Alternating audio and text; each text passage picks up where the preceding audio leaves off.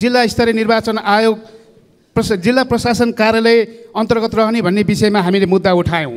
त्यो मुद्दा यो गरिमामय सदनमा राख्यौँ। माननीय मन् मन्त्रीज्यूले त्यो मुद्दा त्यसो गरिँदैन त्यसलाई हटाइन्छ त्यो खारेज गरिन्छ पनि भन्नुभयो त्यसको लागि उहाँलाई धन्यवाद छ। तर आज त्यो कसरी गरिन्छ त्यो कुन तरिकाले गरिन्छ यो गरिमामय सदनलाई जानकारी चाहियो त्यसको सुनिश्चितता चाहियो। तमाम नेपाली जनताले हेरेर बसेका छन् लोकतन्त्रमाथि नियन्त्रणकारी रूपमा ल्याएको त्यो खारेज गरिसके पछाडि अब सरकारले म सामान्य सभामुख मार्फत भन्न चाहन्छु सरकारले त्यसको जवाफ दिनुपर्छ अर्थमन्त्री त्यसको जवाफ दिनुपर्छ।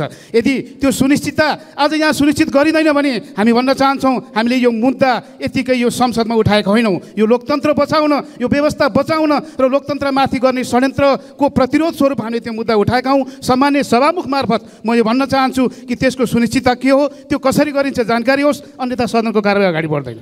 स्थानीय प्रशासन अथवा जिल्ला पर प्रशासन कार्यालय मातहत रहँदैनन्।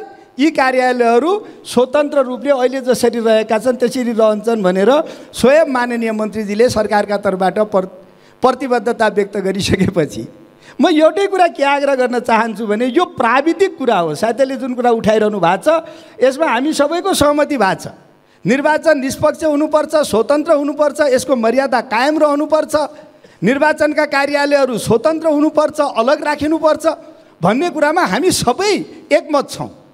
भने यो प्राविधिक रूपले कार्यसूचीमा पर्यो या परेन भन्ने मात्रै विषय भएको हुनाले यसलाई मानु कि यो हाउसमा कोही पक्ष निर्वाचन स्वतन्त्र गर्न चाहने निष्पक्ष गर्न चाहने निर्वाचनका कार्यालयहरू स्वतन्त्र राख्न चाहने कोही पक्ष जिल्ला प्रशासन कार्यालयभित्र हाल्न चाहने किसिमले प्रस्तुति गरेर यसलाई राजनीतिक नगरौँ।